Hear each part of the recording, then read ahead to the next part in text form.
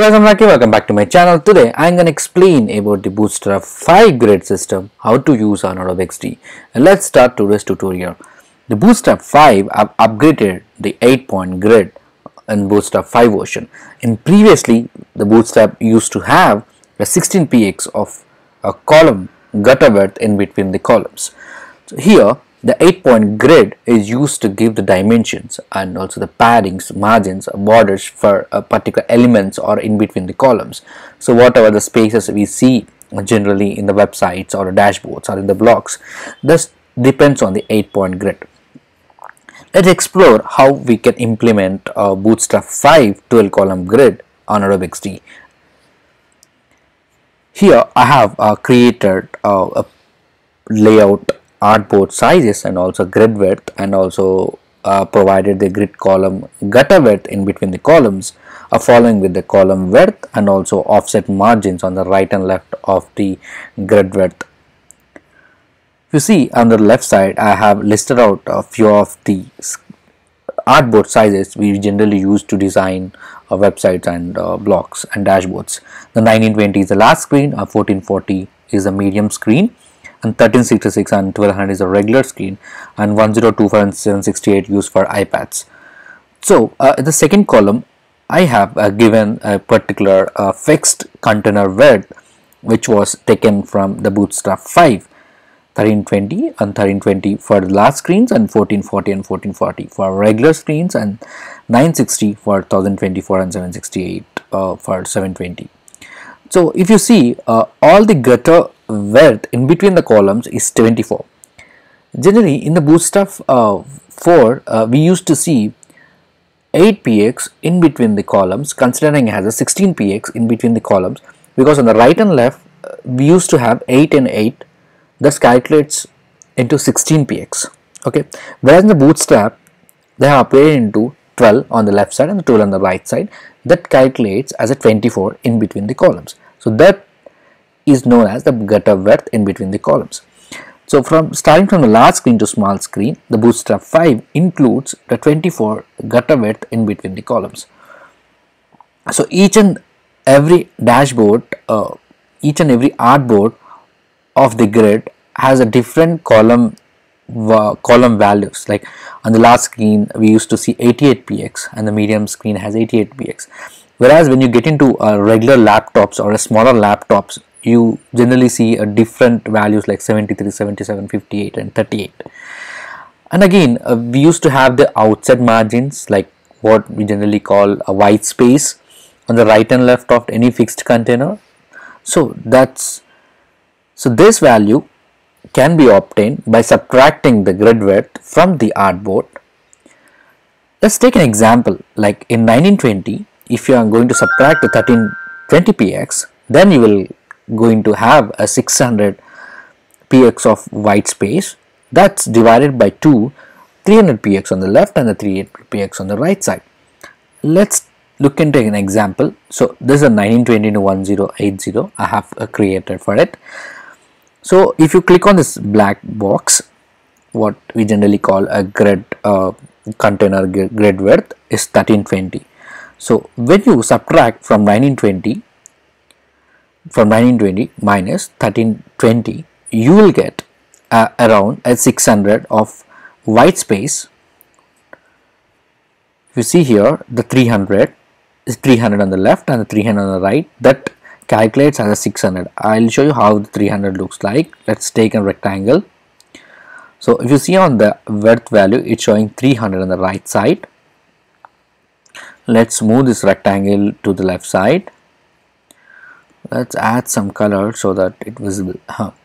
you see on the left side it's showing 300 and also on the right side it's showing 300 and in between the columns so this is known as a gutter width. So if you click on the artboard on the right side bottom you will find the gutter width in 24 let's click on this rectangle. You can see the 24 in between the columns right Let's drag this rectangle onto the column and let's check the how the column width looks like. Again click on the artboard. The right side you will find the column width. The column width it's showing is 88. let's click on the rectangle let's check the value of the rectangle it's 88 so this we call as a columns so generally we used to have 12 columns in between we used to have 11 gutter widths okay and uh, this is the offset values like 300 300 on the left and 300 on the right. That will you obtain while you are subtracting your grid uh, grid width from the artboard. Then you used to have this margins on the right and left.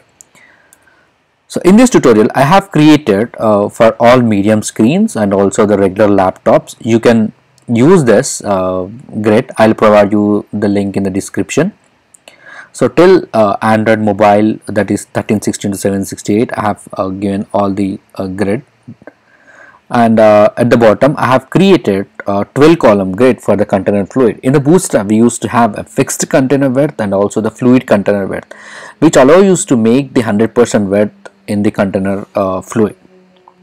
So again I have uh, given different grid widths by obtaining from the container fluid so this is for 1920 let's click on the one of the artboard of 1920 on the right side if you see the gutter width is 24 and also your margins on the right and left is 24 because on the fluid layout we used to have a 16 px on the right and left in the smaller uh, devices for the regular devices where when we are designing for the larger screens we generally use a, a, a, a 24 or 32 of the margin on the right and left. So that's how the bootstrap have uh, given a freedom to use a 24 px in between the columns and also on the outer margins offset. So that's how I created a container fluid uh, grid system uh, for all the uh, uh, regular and the uh, larger desktops so if you found this uh, useful for your next project you can download and use it uh, from the uh, description.